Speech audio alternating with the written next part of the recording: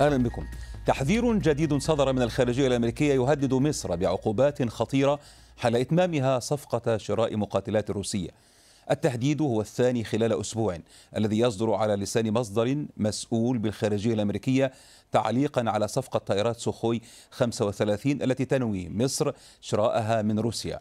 وكان كلارك كوبر مساعد وزير الخارجية للشؤون السياسية والعسكرية الأمريكية قد صرح لوكالة رويترز يوم, يوم الاثنين الماضي قائلا إن شراء مصر طائرات مقاتلة روسية يعرضها لخطر العقوبات الأمريكية كما يهدد مشترياتها من العتاد الأمريكي في المستقبل. مضيفا أن مصر على دراية بتلك المخاطر. وكانت صحيفة وول ستريت جورنال كشفت أن وزير الدفاع الأمريكي مارك إسبر ووزير الخارجية مايك بومبيو حذر مصر من شراء المقاتلات الروسية. وحسب الصحيفة الأمريكية فإن إدارة ترامب رفضت طلب مصر تزويدها بنحو 20 طائرة مقاتلة من طراز إف 35 تطبيقا لقرار حظر مبيعات هذه المقاتلات في الشرق الأوسط باستثناء إسرائيل. والسؤال ما مغزى التهديد الأمريكي المتكرر لفرض عقوبات على القاهرة؟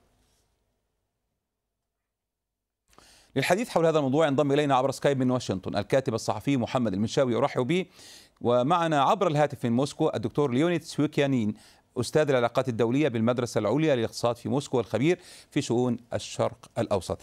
أبدأ مع أستاذ محمد المنشاوي، سيد محمد المنشاوي يعني هو نفس السؤال، لماذا هذا التهديد المتكرر بفرض عقوبات من الإدارة الأمريكية على مصر؟ تحديدا فيما يخص هذه الصفقة التي تنوي مصر الذهاب إليها صفقة السوخوي 35 أعتقد أن التهديد المتكرر يعكس اهتماما أمريكيا بهذه القضية وجدية أمريكية على الرغم من العلاقة الطيبة التي تجمع بين الرئيسين المصري والأمريكي إلا أن المؤسسات الأمريكية تقف بحزم وراء قانون جديد منع أي دول من شراء أسلحة روسية وصدر قبل عامين وهذا القانون يفرض عقوبات على هذه الدول إذا خالفت هذا القانون الأمريكي خاصة إذا كانت من الدول التي تتلقى مساعدات عسكرية مجانية من واشنطن مثل الحالة المصرية وأعتقد أن تكرار التهديدات معناه أن واشنطن جادة جدا فيما تهدد إليه وهو فرض عقوبات على مصر إذا ما استمرت في سعيها للحصول على هذه الطائرات الروسية.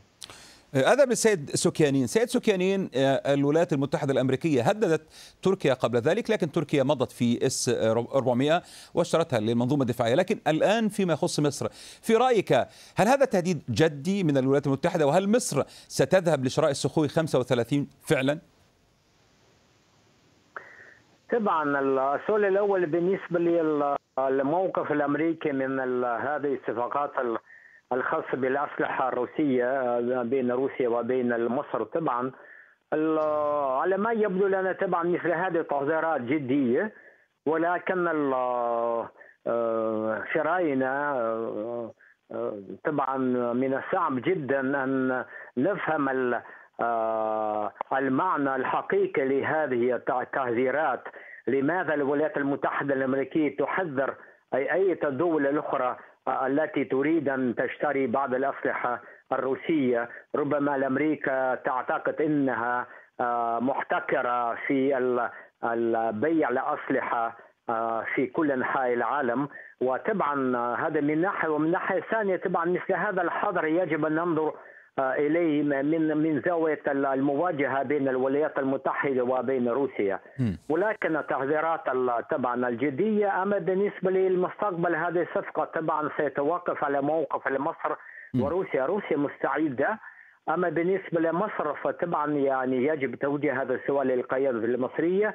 أما بالنسبة للمثال التركي فروسيا تركيا لا تزال تتمسك بالصفقات المعقودة مع مع روسيا. بالنسبة لمصر هنالك العلاقات المتطورة في الآونة الأخيرة بين روسيا وبين مصر في مختلف المجالات وعلى هذا الأساس لا أعتقد انه مصر مستعدة حاليا لتخلي عن هذه الصفقة و شكرا.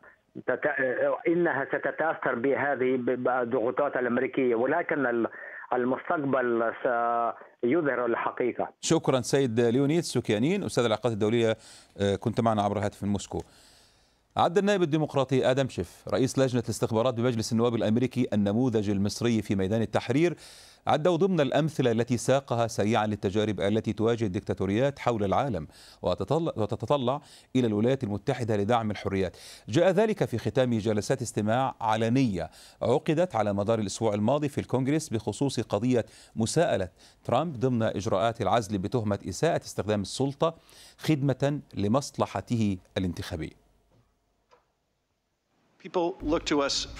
وما نزال كذلك. الناس يتطلعون إلينا من جميع أنحاء العالم. الصحفيون من زنزانات سجونهم في تركيا.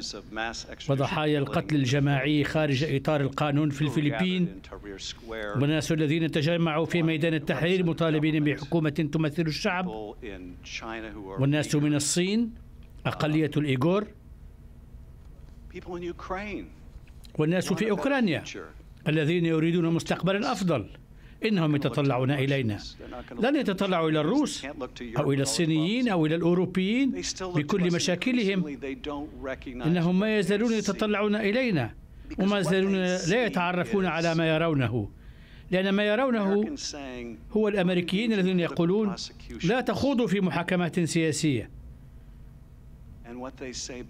وما يقولونه ردا على ذلك هو أو تعنون أتباع بايدن وأتباع كلينتون الذين تريدوننا أن نحقق بشأنهم؟ إنهم لا يتعرفون ولا يفهمون ما يرونه. وتلك مأساة فظيعة بالنسبة لنا. يعني اذهب للأستاذ محمد المنشاوي. أستاذ محمد يعني ربما هذا الصوت يعني من أمريكا عندما يجي على لسان آدم شيف رئيس لجنة استخبارات مجلس النواب الأمريكي يتحدث عن النموذج المصري ميدان التحرير عندما يخرج ويطالب بالرئيس المصري عبد الفتاح السيسي بأن يرحل. هذه الأصوات يعني وأيضا الحديث عن ميدان التحرير ربما أيضا الحديث عن ميدان التحرير في مبارك. يعني الصورة المصرية الصورة المصرية ميدان التحرير المصري عندما يكون حاضرا بهذا الشكل في وقت الرئيس الأمريكي دونالد ترامب يتحدث عن ديكتاتوري المفضل. يعني كيف يمكن فهم هذا مع تلك؟ بداية التصريح جاء في ختام الجلسات العلنية لمحاكمة الرئيس وكان يشهدها الملايين من الأمريكيين. فالموضوع هام جدا من حيث المشاهدة. لكن الموضوع كان يتعلق بالسياسة الداخلية الأمريكية بالأساس وهي انتقاد الرئيس ترامب وانتهاكه لسياده القانون وللحريات وللدستور والنائب شيف استشهد بتجربة ميدان التحرير كأحد النماذج العالمية المبهرة في السعي للحرية والرغبة في الديمقراطية. هو الصورة الذهنية ما زالت لميدان التحرير أنه مكان التقاء السعيين للديمقراطية المصرية والعربية وأن اليوم هذا الميدان لم أصبح عليه ضغوط من النظام المصري بحيث أنه لم يعد متاح للتعبير عن الحريات كما ذكر النائب. وأيضا هناك أيضا انتقاد ضمني لدعم الرئيس ترامب للنظام المصري الحالي. شكرا جزيلا لك الكاتب الصحفي سيد محمد المنشاوي أشكرك شكرا جزيلا.